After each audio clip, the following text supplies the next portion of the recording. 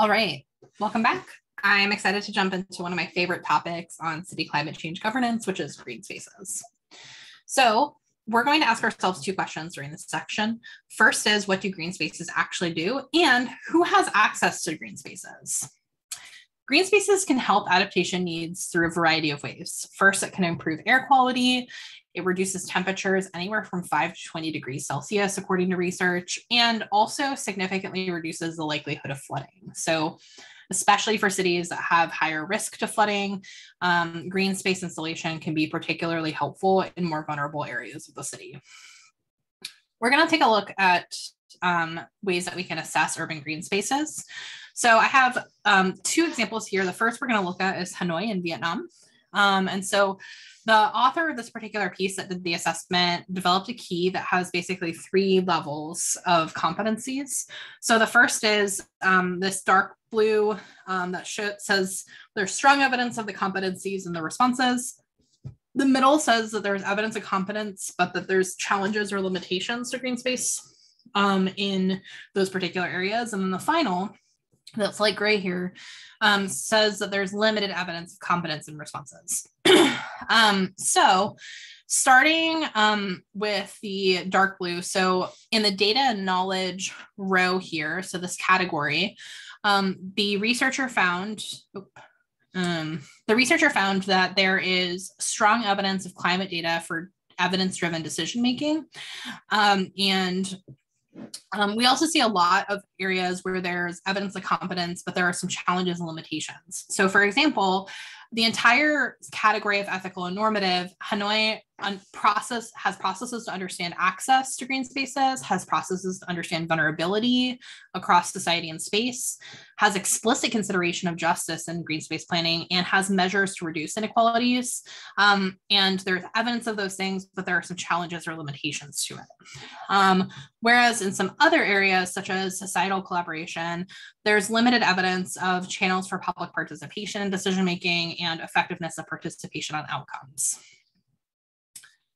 So, for example, in Fukuoka, uh, in Japan, we see um, high, strong evidences of things like data and knowledge, the same category that Hanoi had, but they also have um, strong competence and decision support tools for non technical staff, policies and legislation plans for green spaces, and president's presence of leadership and champions.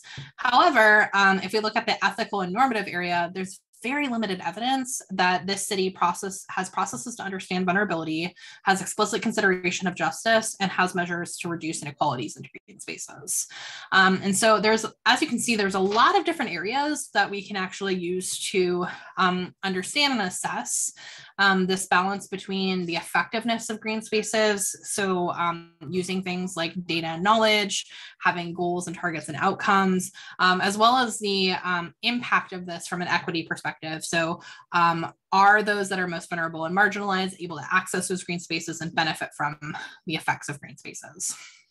Um, in Taipei, um, we see really high, strong evidence here of uh, competence and responses. So uh, very high societal collaboration in Taipei. Um, so approaches to support civil society collaboration, channels for public participation, decision making, and effectiveness and participation of outcomes. They also have um, strong use of climate data for evidence-based decision making. They have policies and legislation plans for adaptation, opportunities for innovation, um, experimentation, learning, presence of leadership and champions, and measures to reduce inequalities in green space and adaptation benefits. They do have um, more limited evidence things with things like linking green space and adaptation with the development goals, uh, explicit consideration of justice in green space planning and adaptation, um, mechanisms and effectiveness of integrating across sectors, scales, levels. Um, and so we can see that for these three cities, we have a lot of variance in areas of their strengths. So, for example, Taipei is really strong with the societal collaboration. Uh, Fukuoka is uh, stronger with data and knowledge, and Hanoi is um, stronger in that like ethical normative pieces here.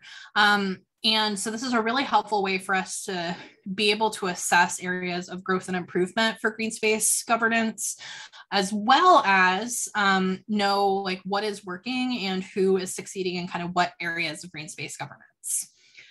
Um, equity in urban green spaces is really important for several reasons. So First, um, larger parks that can support urban forests, joggings, or biking. These are more likely to be located in wealthier, wider areas of the city. Um, so, for example, the Monon Trail in, in, Indianapolis, Central Park in New York City, Forest Park in St. Louis, Missouri. Um, there are also parks um, in poor and Black majority neighborhoods, but they might be co located near hazardous sites and may previously have been the sites of severe pollution themselves. Um, they also often lack upgraded amenities. Uh, lower income neighborhoods were more likely to have higher use density than lower income neighborhoods, uh, or than higher income neighborhoods, sorry. Um, which means that uh, accessing and using that space um, is particularly more tricky. Um, and oftentimes, because they lack upgraded amenities um, and um, like there are fewer of them located in um, higher income areas. Um, it also uh, creates kind of a cyclical effect with the higher use density. Um, additionally, parks in low income communities are more likely to contain basketball courts, less likely to have things like trails, and less likely to have aesthetic features. Um, so we see um, some pretty big disjointedness in terms of the equity in urban green spaces there are ways that we can address the green space equity. So, first, acknowledging acknowledging that not all green spaces are the same. Um, also prioritizing and co-planning with Black, Indigenous, and other historically marginalized communities.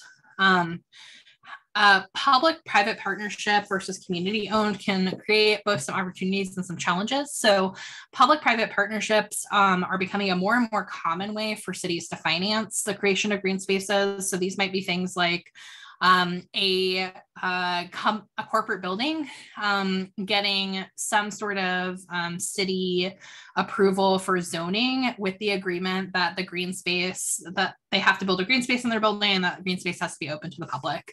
There's actually a really interesting rabbit hole of TikToks where people are exploring um, kind of these like open um, open gardens in different cities like New York City and things like that that people don't know exist. Um, that's also one of the challenges with the public-private partnerships is that um, sometimes these companies um, will uphold their end of the agreement. So they'll build the space, um, but they'll limit access to it either by having really limited hours or just not telling people that these spaces exist.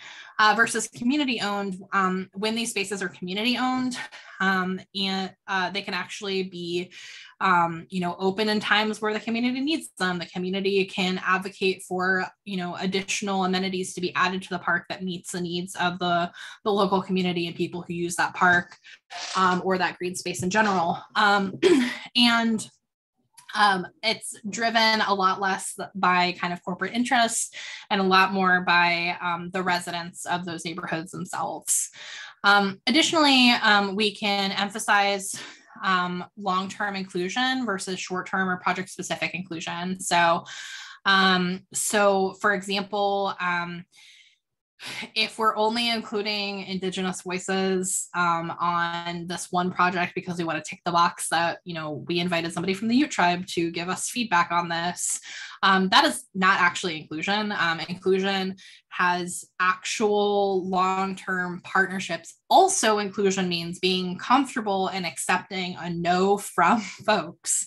Um, this is one thing um, that i think shows up a lot of times in green space discussions is that um, true inclusion means being okay if the community or the folks that you are including say no or push back against your efforts or ideas and accepting that no as an answer not just trying to persuade them to change their minds so we need long-term partnership um, and long-term inclusion with all folks that are affected by green space policies in cities and not just like short-term filling the box or for partic- for particular projects. Um, and so this is a, a, way in the long run that we can address green space equity issues. Um, when we come back, we're going to talk about recycling.